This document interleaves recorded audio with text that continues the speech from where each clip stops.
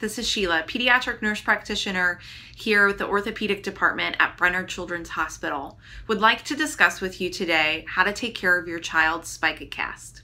So spica cast is a specialized type of cast that we use to help immobilize the hip with certain types of conditions such as developmental hip dysplasia, femur fractures, and a variety of surgeries. Your child's surgeon will prepare you for what type of cast you can expect for your child, but you may come across a variety of these online, including certain ones that, in, that incorporate both legs, one leg, or a bar that separates each leg.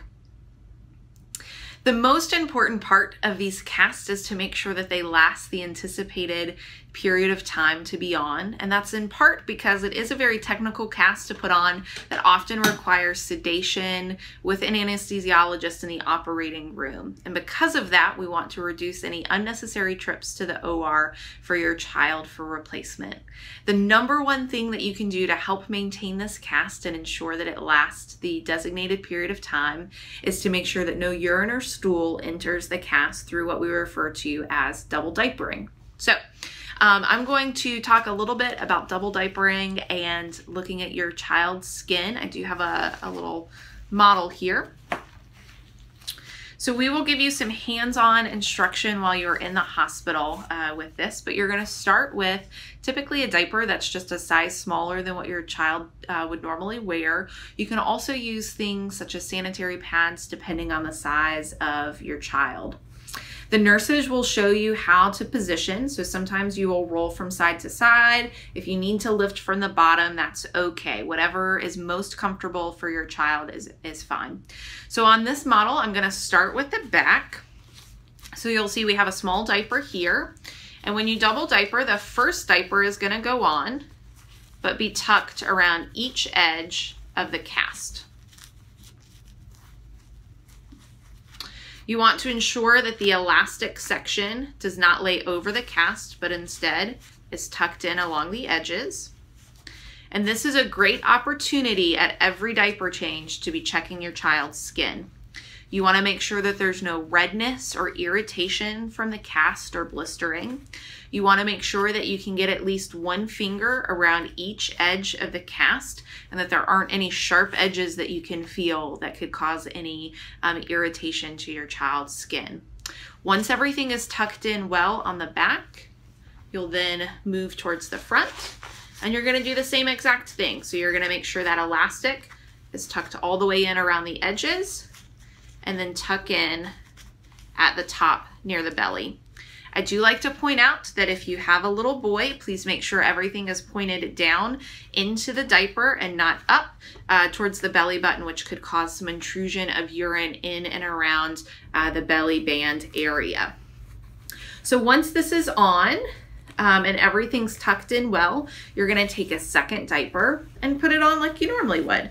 So this diaper is gonna go on over the cast and this is to help ensure that the inner layer of diapering stays positioned just like it's supposed to.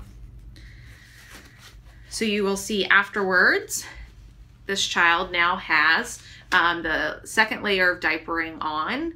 Um, and this is to help catch any overflow and like I said, to prevent them from pulling any of that material out from the bottom.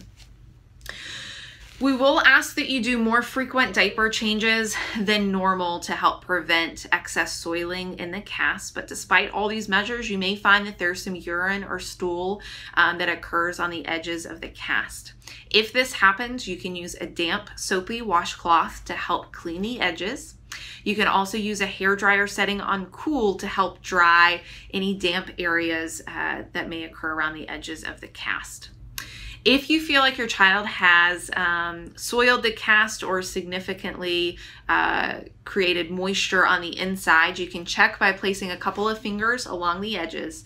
If the cotton on the inside is soggy or squishy um, and uh, noticeably wet, or if the outside of the cast, which is typically firm and hard, suddenly has a lot of give to it, then that would be a reason to call our clinic right away um, for some recommendations and possibly a, an evaluation in the clinic.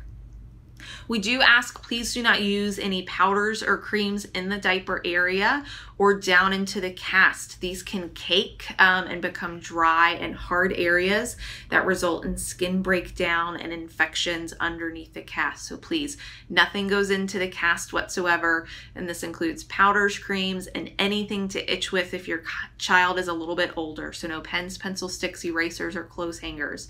If it's itching, you can use, again, that hair dryer on cool cell setting to blow some cool air through the cast. You can ice through the cast with a thin towel and an ice pack on top.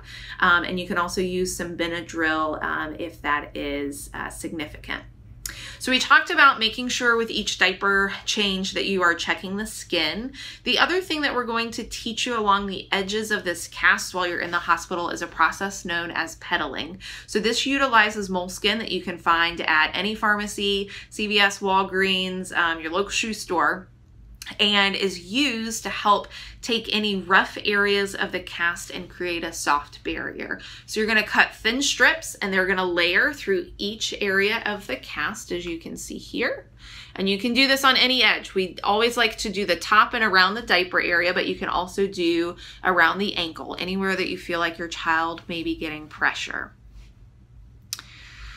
Your physician will discuss with you whether or not your child is allowed to put any pressure or weight through their cast. So please uh, discuss with them uh, what their recommendations are.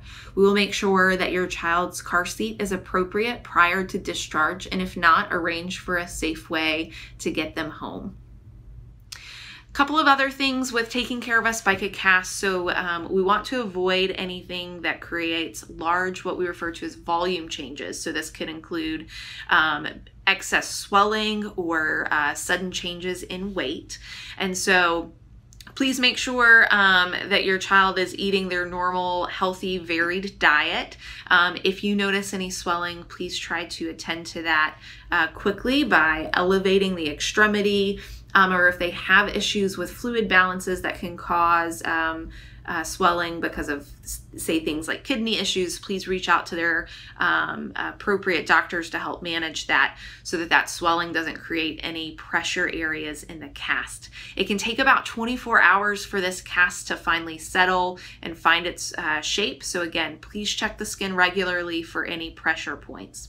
We want to make sure um, that the cast is not too tight, uh, both in any area or caused by swelling. So the child should always be able to move their toes, feel you tickling them. Um, their toes should be nice and warm and pink. If they start to look purple or are cold, um, if you pinch the nail of their big toe, um, it should go from white to pink within three seconds. If that's uh, delayed at all, or if your child is having increasing pain in the cast um, that is not uh, managed with pain medication or they're inconsolable, those would all be reasons to give us a call right away in clinic. We want to make sure that you are repositioning them frequently about every two hours to avoid any prolonged pressure areas, particularly along the back. And while at home, you may find that propping them up with certain type of pillows or beanbag chairs will help them uh, stay nice and comfortable. Depending on their age and their size, getting around in wagons uh, is often a great option as well uh, if you want to get out and take a long walk. Um, we do ask that if you have any questions or concerns, please do not hesitate to give our clinic a call. We are open Monday through Friday from 8 to 5. We have a wonderful nursing staff um, who is always available and will give you a call back same business day. We also have a wonderful team of cast technicians who, if there are any concerns with the cast, can help evaluate it and possibly make some changes to make sure that your child stays comfortable.